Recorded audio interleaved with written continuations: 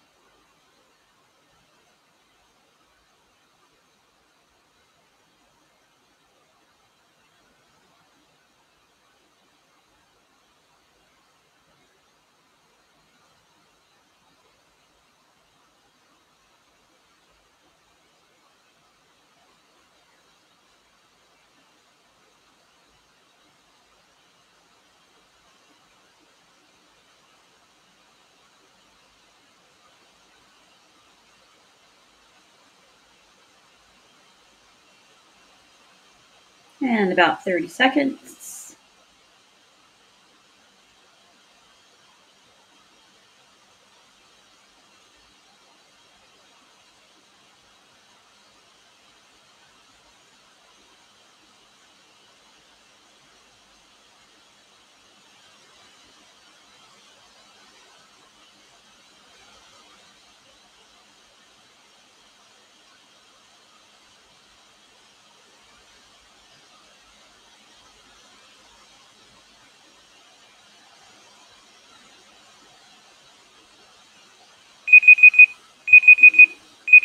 Okay, so let's have a look at the answers. So if you would purple pen this, please. You should have selected A, B, C, and F as the correct answers. Okay, question number two, task number two. So task number two is where it says refer, refer to both sources, source A and source B. Write a summary of the similarities. This one is asking for similarities between the way African and Polish slaves are treated. So what we're going to do to plan for this is you need two different examples of how they're treated in each source. So let's have a look at this. And then you can fill in your own copies. So the first thing that I notice is in that source A, um, you have they were treated without any sort of consideration for their emotions. One quotation from that is soon converted into terror when I was carried on board. I was immediately handled and tossed.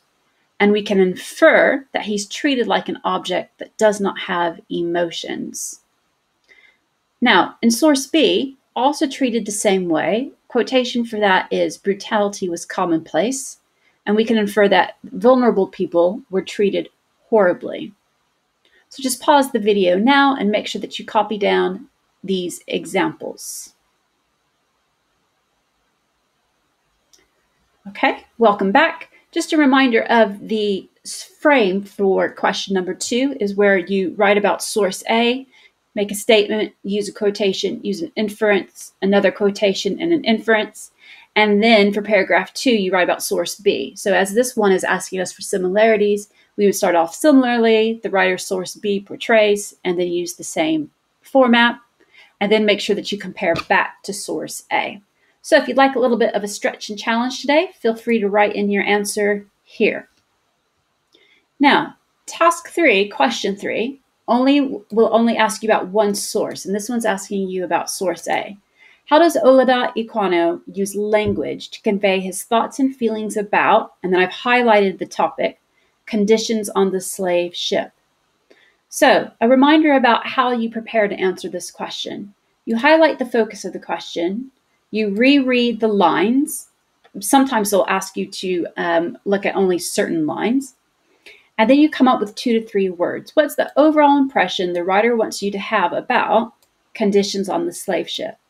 So I've come up with these three, if you'd write these down. The conditions were unhealthy, they were quite violent, and they were horrific.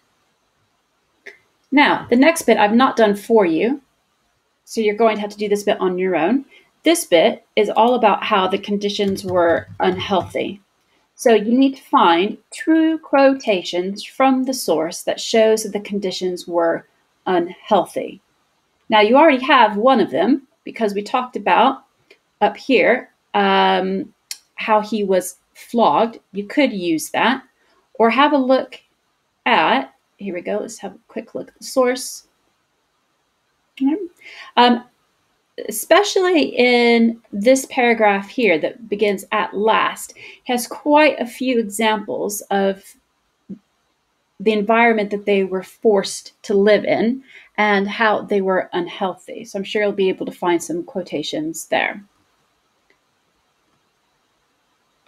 This paragraph then will focus on the violent conditions so you'll need to find two quotations in source A that mentions violence. And then the third paragraph would focus on horrific, kind of more of a general word that you can use lots of different quotations for. So again, you'll pause the video and work on finding two quotations for each paragraph. So a total of six quotations. Then finally, question four. Question four asks you to write about both sources Compare how the writers present similar perspectives on slavery. Now, sometimes the in the exam they will ask you for different perspectives, so it's important that you read the question really carefully. Today, though, we're looking at similar perspectives.